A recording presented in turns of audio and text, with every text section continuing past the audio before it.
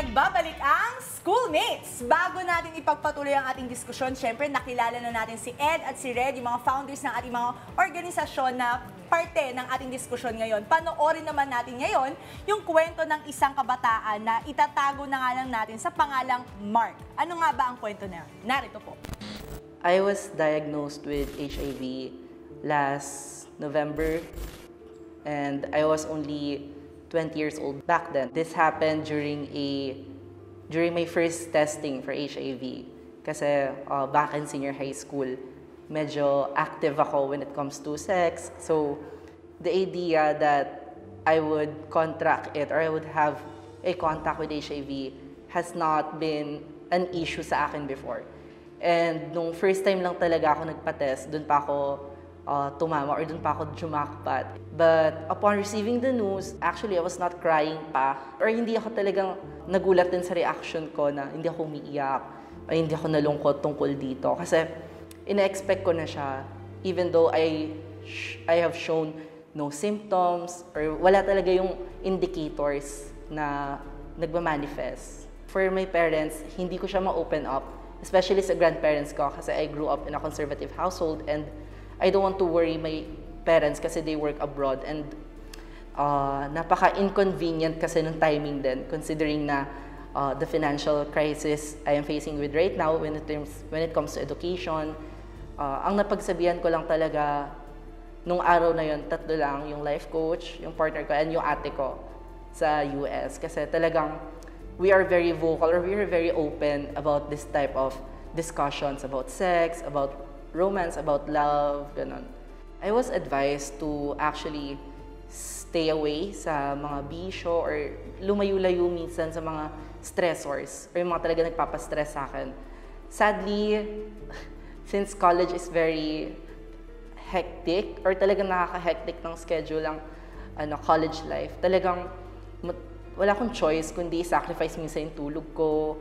Uh, as for my daily activities or daily routine, uh, wala namang masyadong nagbago since ang nadagdag lang is I have to take medicine for or I have to take this medicine na supposedly magti-treat sa nararamdaman ko. Pero so far, um, mas ini-encourage ako or nadagdagan pa yung normal na ginagawa ko because I exercise, uh, I go to the gym once in a, every week once a week para lang i-maintain yung figure ko, ganun, ganun. So, after um, sharing this with my life coach, talagang pinropose niya na I should be more healthy or more active in promoting my own health. It's important na regardless of your SOGI or your sexual orientation, gender identity and expression, it's important to get tested or to be knowledgeable at least sa mga STDs or sexually transmitted diseases. Kasama na dito yung HIV and AIDS. Socio-civic duty mo na rin sa iyong kapwa at sa iyong bansa para ipangalanda ka na ito yung party ko na I am participating by promoting wellness and promoting my health. Kasi isa to sa mga talagang importante na usapin ngayon, yung usapin tungkol sa sex-related uh, cases or issues sa health.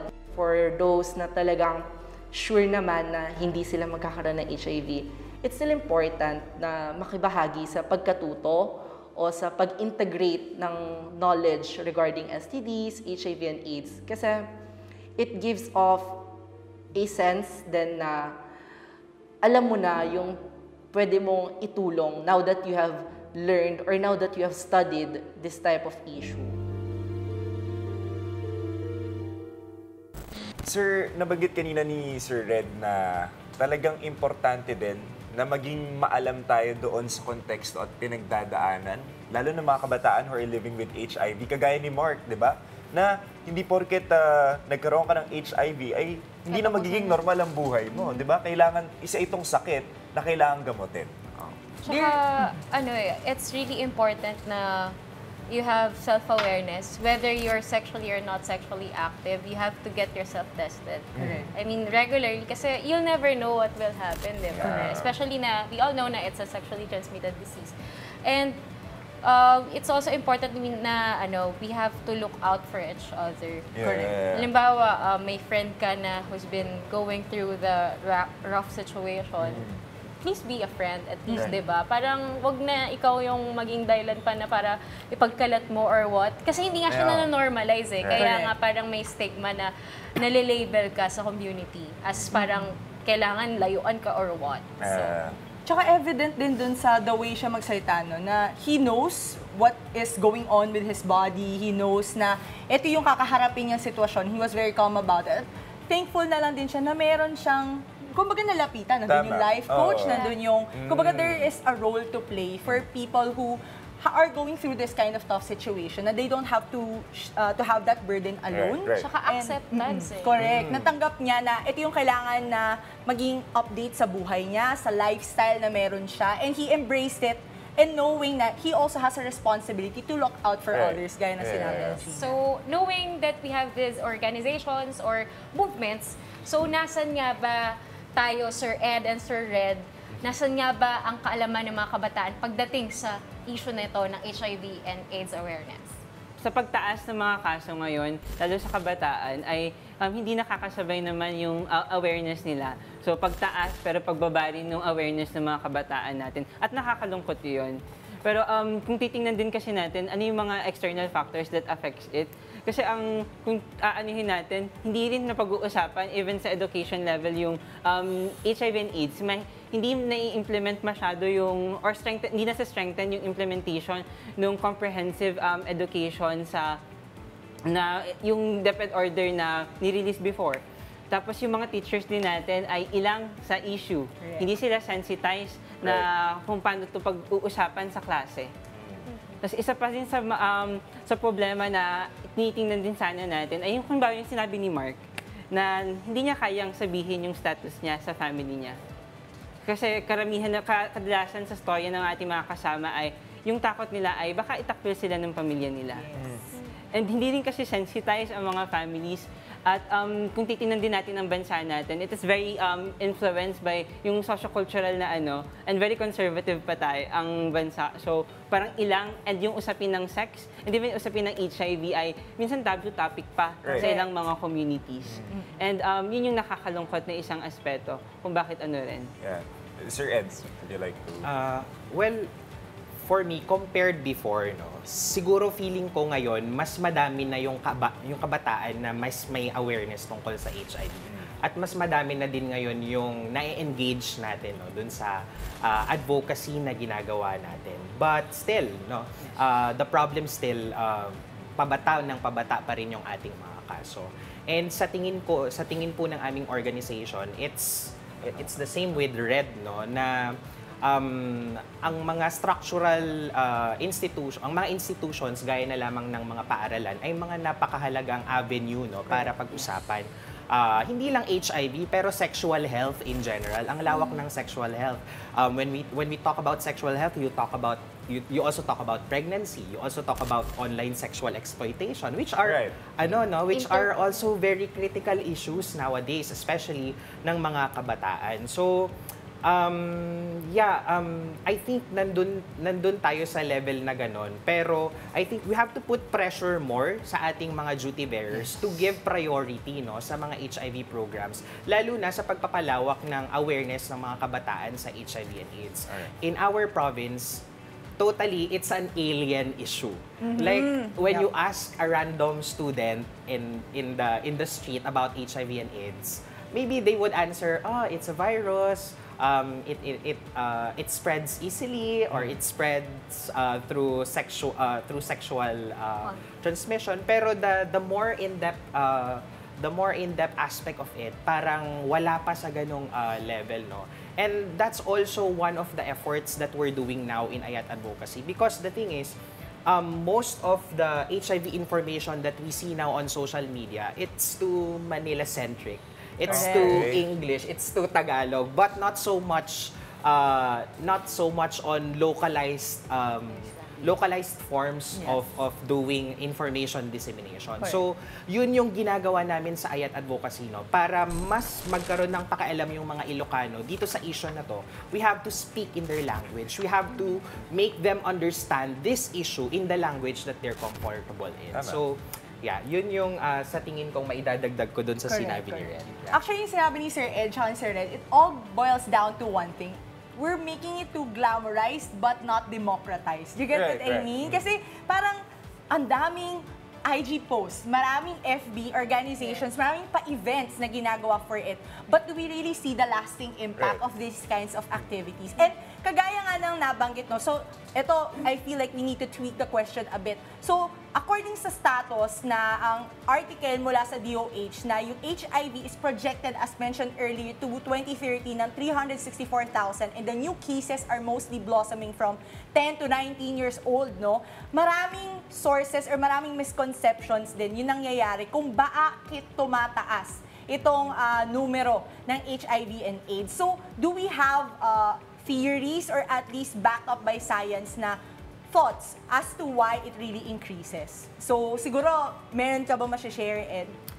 Ah, yeah, sa province namin, sa tingin ko, yung pinaka-driver ng stigma, ah, particularly on HIV, is yung religion. Alright. Uh, Ilocos Norte is a very conservative province. And uh, in, the, in the survey that we did in 2020, lumabas na uh, karamihan dun sa mga belief ng mga kabataan about HIV is based on their religious beliefs. Um, describing HIV as a sin or describing HIV as uh, something that you get from an act against your religion. So those kinds of beliefs. And then aside from that, there are also this uh, what we call gender-related discrimination. No? So parang ina-associate lagi yung HIV sa mga bakla or uh, in other in other areas sa mga ano sa mga trans transgender people no which is uh, a very wrong wrong misconception no because the thing is HIV doesn't discriminate and it's not uh, when you acquire HIV it's not about who you are it's not about your gender identity but it's about the the things that you put uh, the things that you do or the risky behaviors that you do that uh, uh, increases your risk no to acquiring HIV. So, yun siguro yung ano, yung mahalagang message na kailangang tandaan ng mga tao na um, everyone is affected by it and that everyone should also care uh, Correct. to it. And then uh, lastly, so uh, religious based, meron din tayong uh, gender based, Gender-based. meron din tayong mga tinatawag na work uh, related stigma. Halimbawa nito ay yung ating mga kaibigang sex workers, 'di ba? So um although illegal siya in many areas of the country and in the Philippines in general, but we have to reco- recognize that they exist. Yes. And they do this for ano, for sustenance, no? Um and the thing is, a lot of people uh, think that just because they are doing what they do, sila yung sila yung nagkakalat ng Yeah, virus. Pero sa totoong buhay, hindi naman sa lahat ng pagkakataon ay totoo iyon, no? Kasi meron tayong mga responsible sex workers, no? They, they use protection when they engage in their work. And uh, they're doing that not only not only to ano not only to to protect their partners but more importantly uh, protecting themselves so yun yun Right. siguro yung addition Sir Ed, nabanggit ni Sir Ed, di ba, sa patuloy na pagtaas ng HIV cases, bakit kadalasan kabataan ang natatamaan? And ito alarming pa dahil base sa 2022 survey ng UP Population Institution, 19% or 1 in 5 youth has comprehensive knowledge on HIV and AIDS. So, kadalasang cases kabataan, pero karamihan sa kanila ay walang awareness pagdating sa HIV. Pero ba- bakit patuloy patuloy na sila yung nagiging ah, sentro ng infection? Yun nga, hindi din matatag talaga sa yung implementation ng comprehensive um, sexual education sa mga paaralan. Kasi doon naman talaga eh, dapat sa murang edad pa lamang na pag-uusapan na siya. At saka dahil nga um, ilang ang mga tao, and even sa mga bahay nila, hindi ito na pag-uusapan, um, yung access to information ng mga kabataan ay varying din. Kumbaga minsan, sa kaibigan na lang nila, tas Sa kapitbahay nila kapitba- nakukuha. Oo. yun, na ano nila, yung mga natatanungan lang nila, even sa Facebook na minsan, ah, di, tat, di natin sure yung mga misconceptions Correct. na maaari nilang maano doon. So kung ganun yung access to information ng mga, ah, ng mga kabataan, um, makikita talaga natin na ma- mataas talaga yung chances ng pagtaas lalo ng kaso. Correct. Alright. So talagang information, ed- education, yun ang kailangan natin gawin, no? Pero marami pa tayong pag-uusapan, kaya abangan ang susunod pa naming tatalakayin sa pagbabalik ng Schoolmates!